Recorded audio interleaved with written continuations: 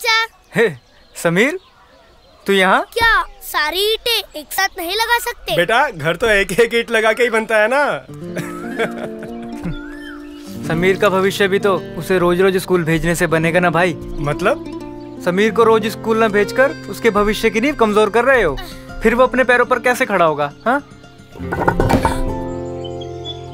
School में सिर्फ़ नाम लिखाना काफ़ी नहीं, मुन्ने मुन्नी को सीखने का पूरा मौका दें। आइए, उन्हें रोज स्कूल भेजें।